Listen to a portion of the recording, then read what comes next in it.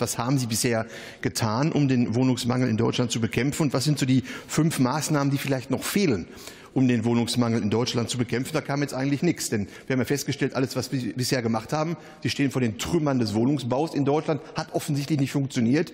Ich habe mich immer so äh, gefragt, vielleicht war es ein riesengroßer Fehler, ein eigenständiges Ministerium für Wohnen und Bauen einzurichten. Denn vorher im Innenministerium hat das wesentlich besser funktioniert. Also vielleicht war das schon die falsche Weichenstellung. Einen Punkt klammern Sie immer wieder aus. Und wenn wir den Punkt ansprechen, dann gehen Sie fast an die Decke. Der Kollege Stadtner hatte vorhin darauf hingewiesen. Wir haben in Deutschland 200 180.000 Menschen, die abschiebereif sind. Nicht, weil wir das wollen als Alternative für Deutschland, sondern weil es Gerichte und Behörden so festgestellt haben. Wir haben seit Anfang des Jahres alleine 50.000 entdeckte illegale Flüchtlinge in Deutschland aufgenommen. Das macht also unterm Strich ungefähr 300.000 Leute, die in Deutschland nichts zu suchen haben, die aber Wohnraum blockieren. Warum? Und es, eigentlich sind es ja noch viel mehr. Wir haben in den letzten zehn Jahren ungefähr vier Kommen Millionen Einwohner zur, Also warum greifen Sie dieses Thema nicht auf? Ist doch offensichtlich, dass wenn ich die Nachfrage senke, dass dann auch das Angebot, sage ich mal, wenn es gleich bleibt, sich positiv entwickelt. Herr Abgeordneter, ich reagiere ganz ruhig. Ich stelle nur fest, dass Sie immer nur ein Thema haben und dass Sie extrem monothematisch unterwegs sind. Das mag aus Ihrer Sicht okay sein, aber ich glaube, es wird den Herausforderungen überhaupt nicht gerecht. Ja, wir haben einen Angriffskrieg Russlands auf die Ukraine. Das hat dazu geführt, dass Menschen, deren Wohnungen zerbombt werden, Schutz bei uns suchen. Frauen, Kinder. Doch, natürlich geht es darum, weil es geht darum, dass diese Menschen Schutz suchen in diesem Land. Und das, diesen Schutz geben wir ihnen. Das ist auch gut.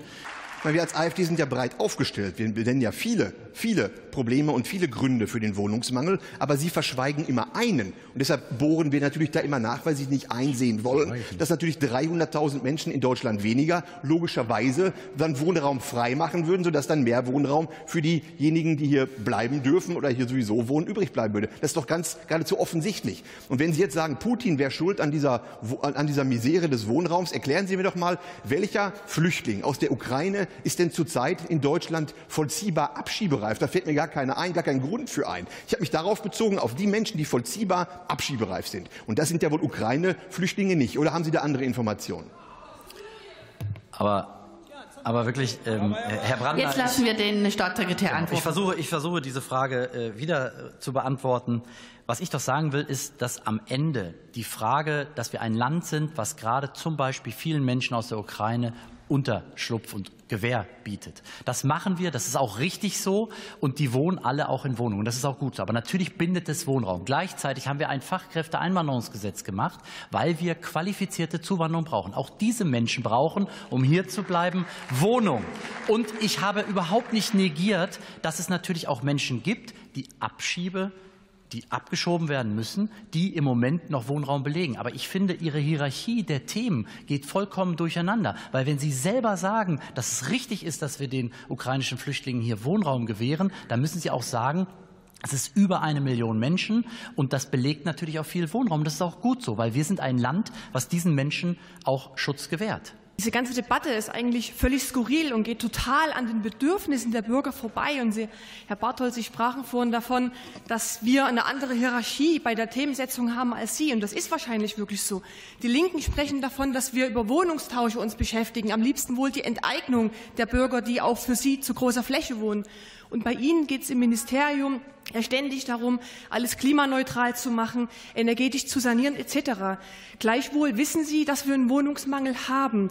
Und die Bürger, die sehen das Problem ganz anders. Die können nämlich nicht mehr bauen, die Baukosten steigen, die können die Wohnungen gar nicht mehr bauen. Sie bekommen sie auch nicht gebaut. Ihr Ziel von 400.000 Wohnungen klappt alles nicht. Und die Frage ist einfach, die wir uns stellen und die sich alle Bürger stellen, wann sie endlich anfangen, wenn sie realisieren, dass sie auf der Angebotsnachfrage nicht erhöhen können. Wann fangen sie endlich an, auf der Nachfrageseite zu senken und endlich mal Politik für die eigenen im Land zu machen, bis wir eben dann so weit sind und wieder der ganzen Welt helfen können? Frau äh, Abgeordnete, wenn Sie so ein eingeschränktes Sichtfeld der Welt haben, da kann ich, da kann ich nichts dafür. Ich kann Ihnen nur sagen, dass ich aus meiner Sicht schon versuche, und wir machen das auch, dass wir so am Ende dafür sorgen, dass wir mehr bezahlbaren Wohnraum in diesem Lande haben.